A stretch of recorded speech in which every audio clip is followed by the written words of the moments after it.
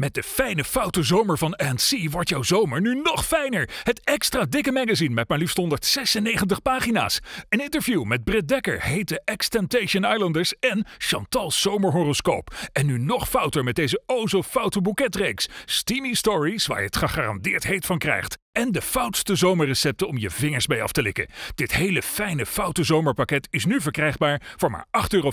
Voor maar 8,50 euro beleef jij jouw fijnste, foutste zomer aller tijden.